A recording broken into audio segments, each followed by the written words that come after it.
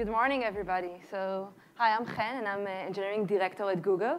And I'm leading the development of some of the open source technologies you already heard about, Kubernetes and also Istio, and also responsible for some of our products like Google Kubernetes Engine.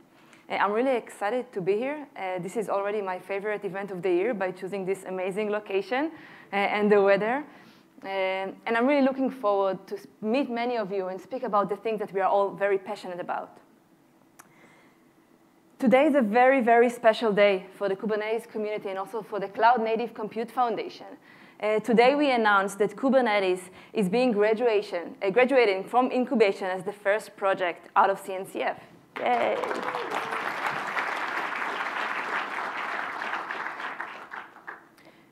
Graduation is a signal of maturity of a project. Uh, from the early days, when the Google engineering team started to work on Kubernetes, uh, they collaborated with people from companies like Red Hat and CoreOS, and, and also customers like Box. And, and everybody worked together, uh, bringing different perspective, ideas, skills, experience, and really building this technology uh, uh with the goal to solve, right? Uh, speaking to what uh, Jim said before, really solve problems for users wherever they are. Uh, and what was amazing that not only uh, we got many contribution, but because of the nature of the community and, and the openness, we were also able to build a really rich ecosystem around that, filling the gap uh, where it's needed. So some metrics of how success looks like. I just added this morning with the GitHub stars, and probably we'll need to do it again after this, after today. And luckily, users are recognizing it the success of Kubernetes, the stability of this project. And this is really, if you look on the CNCF of what graduation means, it means a, a governance model. It talks about more than one contributor. But on top of everything, it's about users using it in production. And this is definitely uh, not the entire list. And there are new users using Kubernetes every day.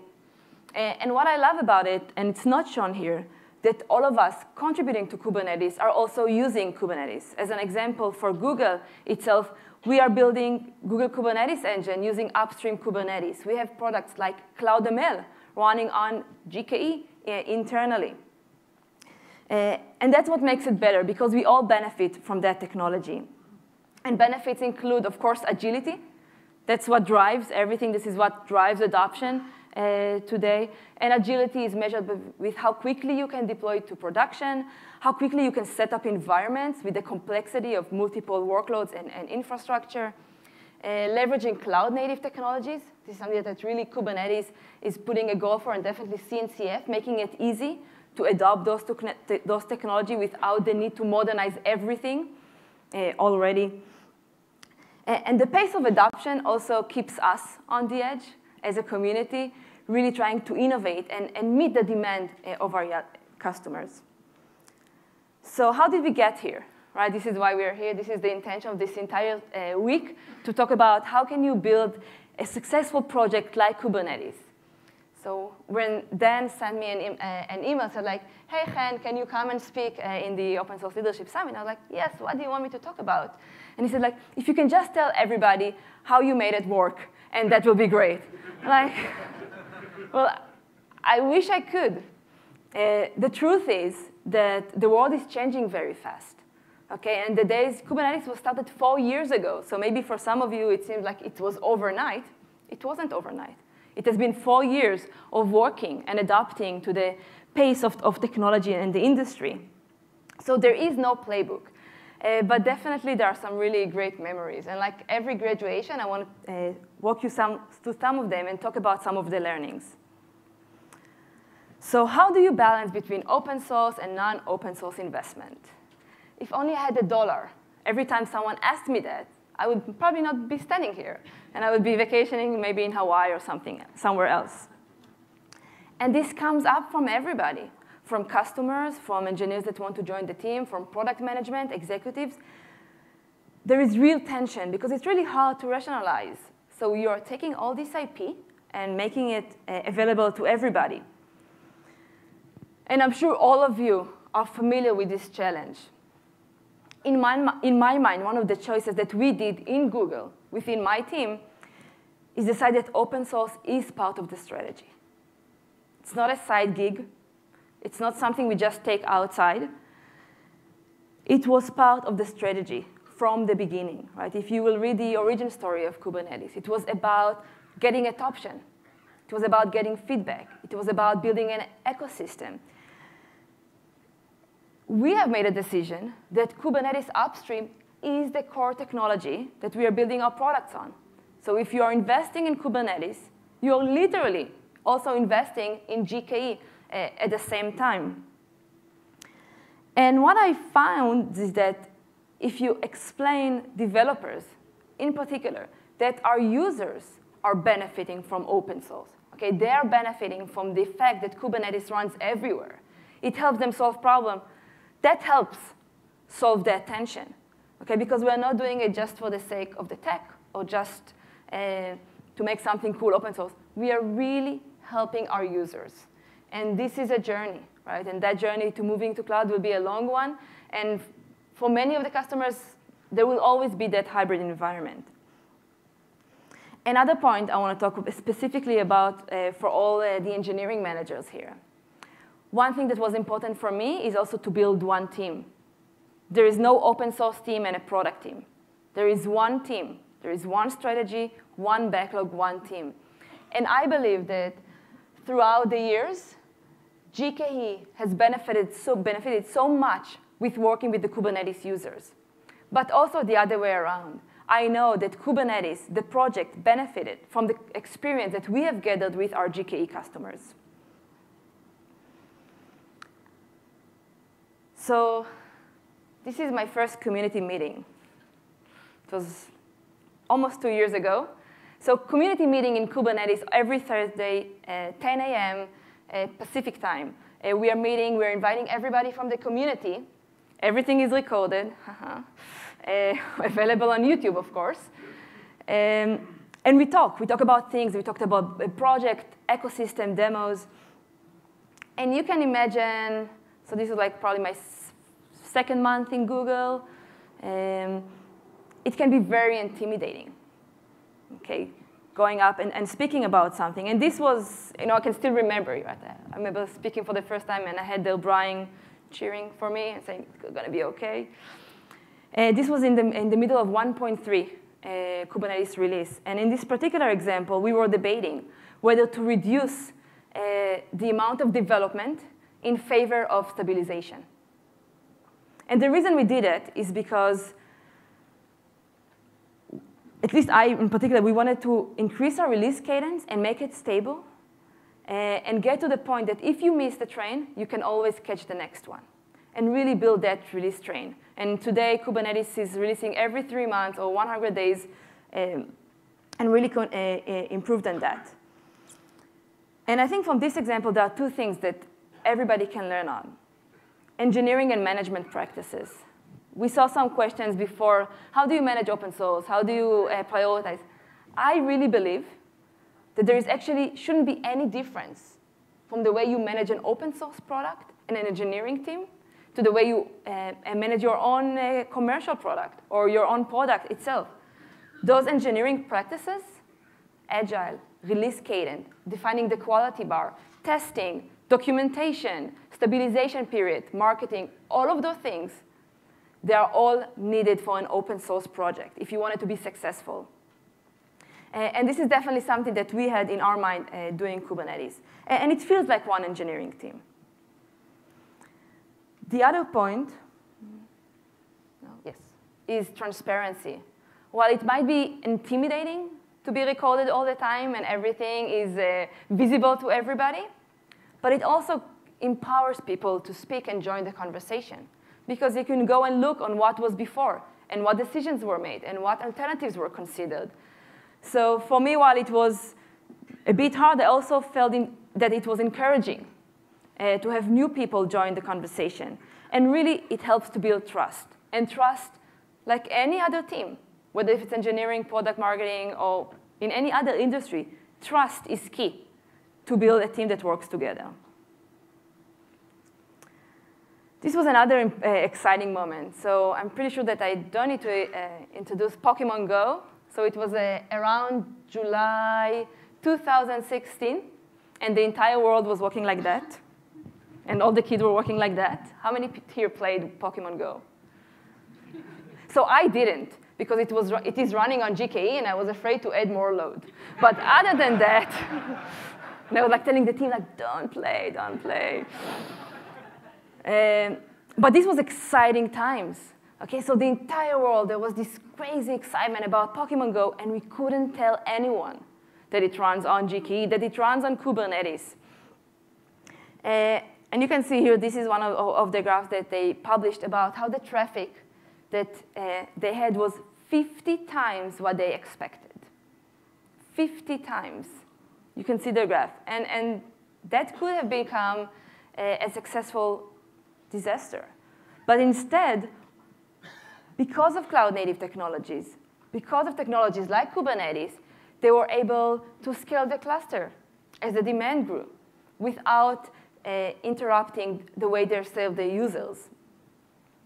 Uh, and in my mind, this is something that is also very important in any open source project, in any open source product. Focus on the user. What problems are you solving? What is the pain that you need to solve?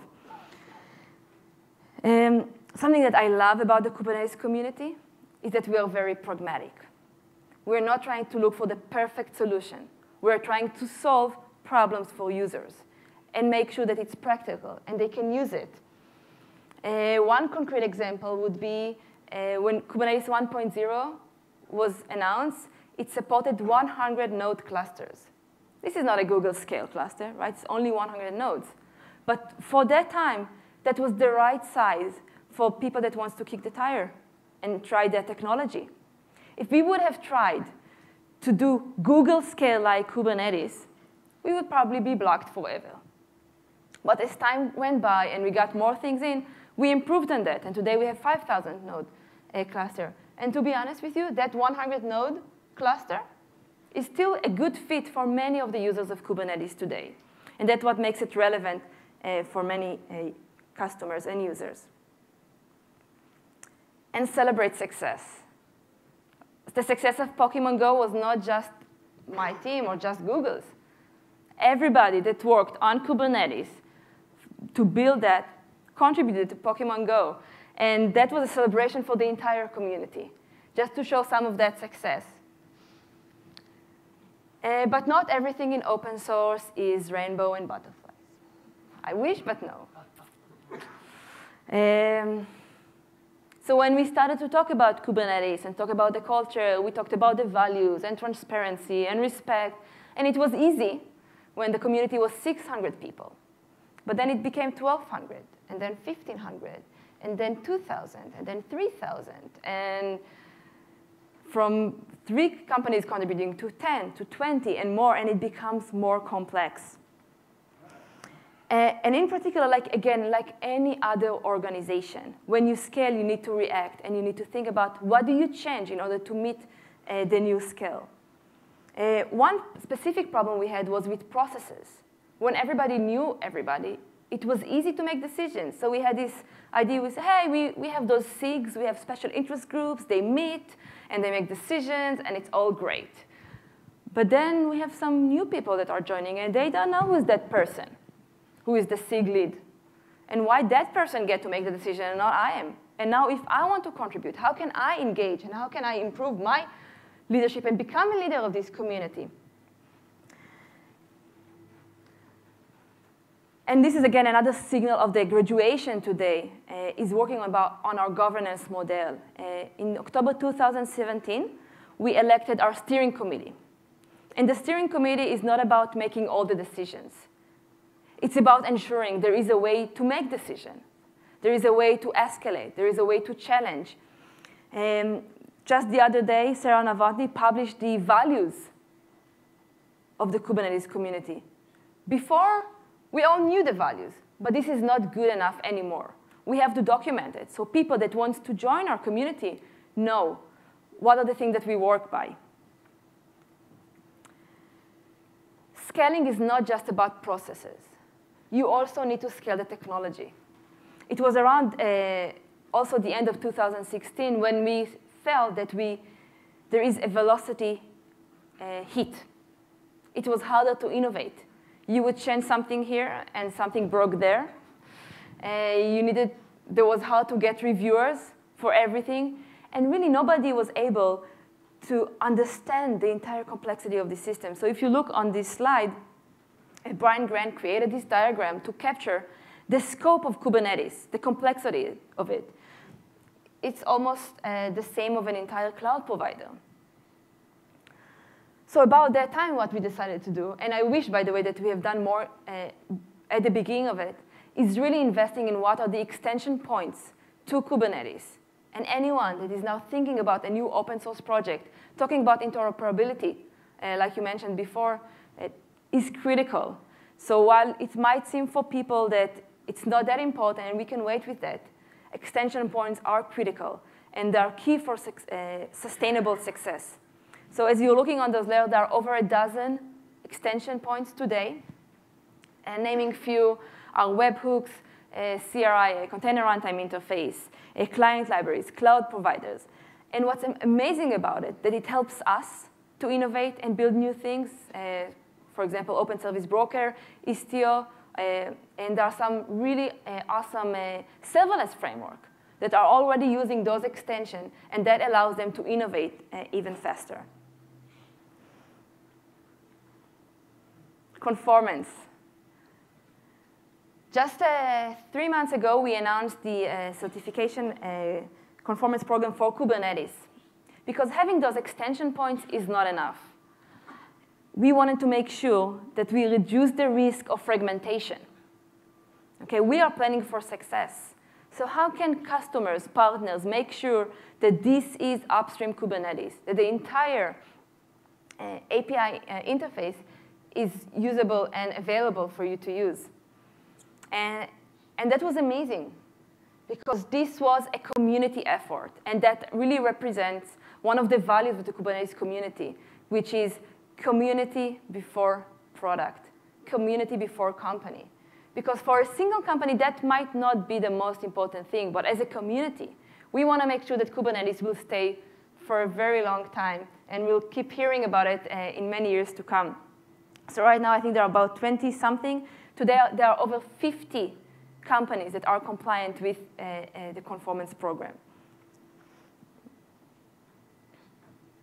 So what can you learn about everything that we have done with Kubernetes? The first thing is intentional leadership. You have to plan. To plan.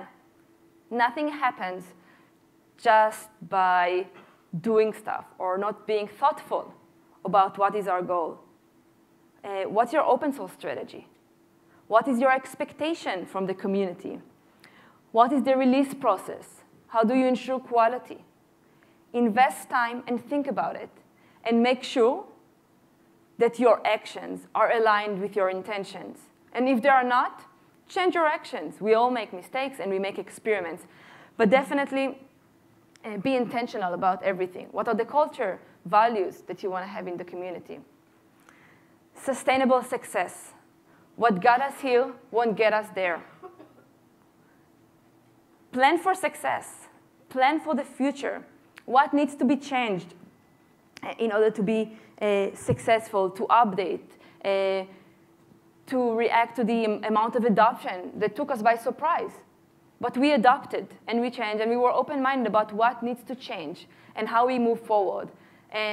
And I know for sure that everything we are planning for the next year will again have to change, assuming we'll be successful in two years and three years. And that's how product is, how software is, how technology is. Everything changes also around us. The last point is diversity. I didn't talk about it uh, before within my slide. Uh, being a female leader in tech, it's not easy to talk about diversity. But I think that as leaders, we all must talk about diversity. So my ask from all of you is to be intentional about that. Build communities with openness that are welcoming people. So my uh, personal belief that every project, every team, every product will benefit from a diverse team. The unique thing about open source that it is in the reach of everybody, no matter your age, where you, which country you live in, or your gender. You can all be part of something amazing. And it's really a platform of opportunities for everybody. And I think for all of us, it's really an opportunity to make this a better world. So thank you.